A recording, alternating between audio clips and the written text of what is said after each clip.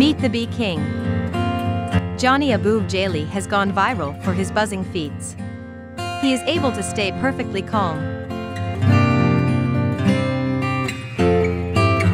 This man has absolutely zero fear.